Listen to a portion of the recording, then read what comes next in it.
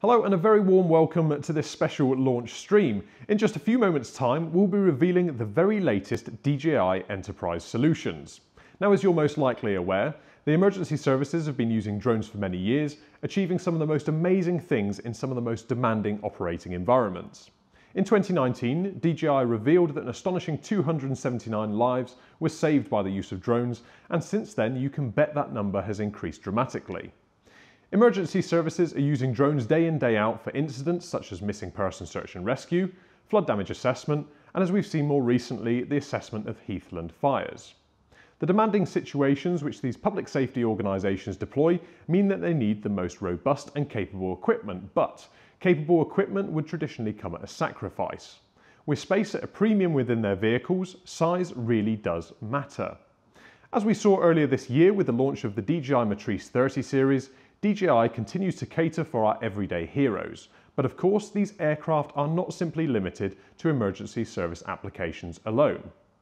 Drones have played a crucial role in the inspection of national utility, transportation and critical infrastructure, ensuring it continues to function effectively and decrease downtime.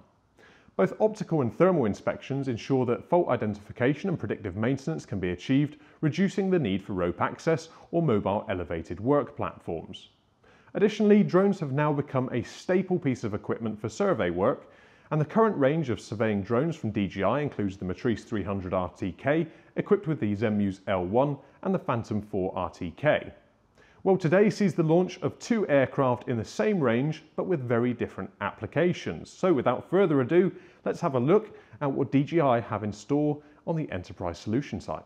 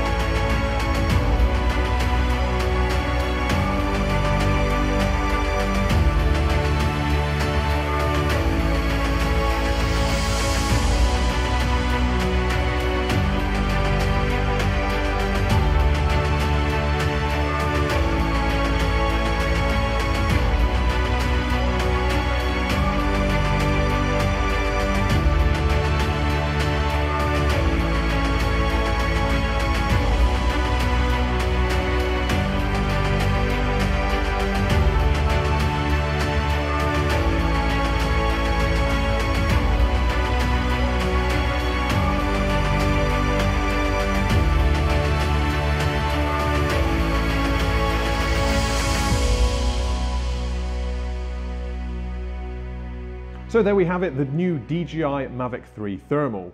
We were fortunate to receive a demo unit of the M3T recently and took it out on the road to put it through its paces, but this isn't the only aircraft which is being released today. DJI has also released the Mavic 3 Enterprise, a firm contender for the DJI Phantom 4 RTK. So let's take a look now at the technical specifications for both of these platforms. Starting off with the Mavic 3 Enterprise, it has two optical sensors, a 20 megapixel 4 3 CMOS wide sensor with an equivalent 24mm focal length, and a 12 megapixel half inch CMOS telesensor with an equivalent 162mm focal length. In combination, the two sensors afford a 56 times hybrid digital zoom, and with a 0.7 second shooting interval, mechanical shutter, 45 minute flight time, it's more efficient and portable by comparison to the Phantom 4 RTK.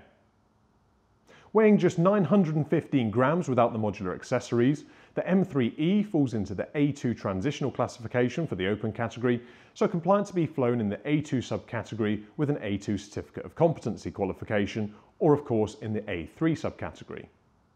It can also be flown in the specific category under an operational authorization issued by the Civil Aviation Authority.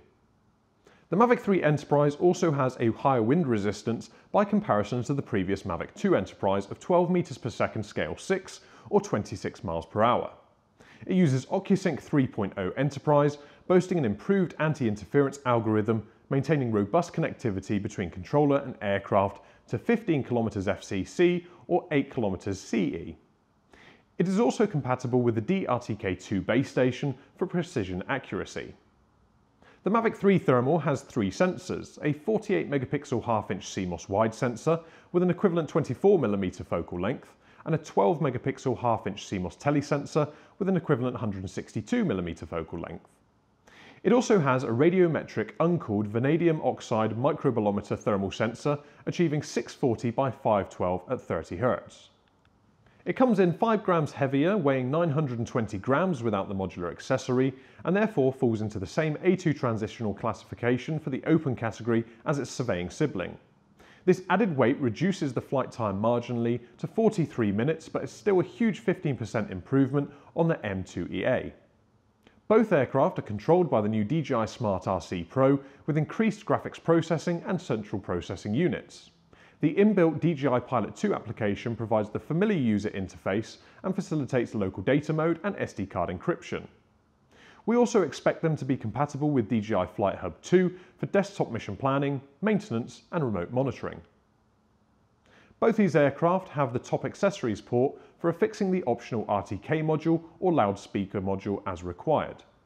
The Mavic 3 Enterprise also comes with a complimentary 3-month trial license to DJI Terra Electricity meaning users can benefit from the highest level of functionality afforded by the software. Other optional accessories also include a 100 watt charging hub.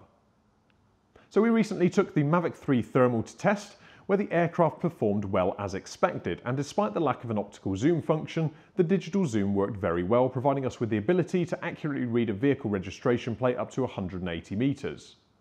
There is a noticeable transition from optical wide to optical zoom cameras, but this doesn't detract from the overall capabilities of the system.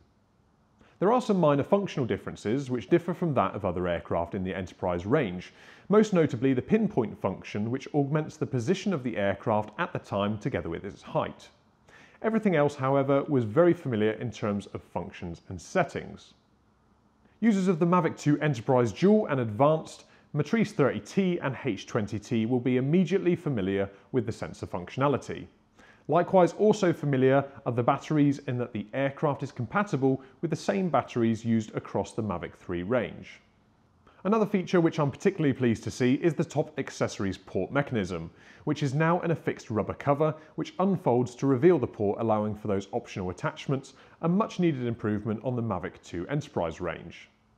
So if you're interested in finding out more about the DJI Mavic 3 Enterprise or the Mavic 3 Thermal, reach out to the heliguy team by phone on 0191 296 1024 or email us at info at heliguy.com. So thanks for joining us for this launch stream and if you have any questions, please post them in the comments below and we'll endeavour to answer them as quickly as possible.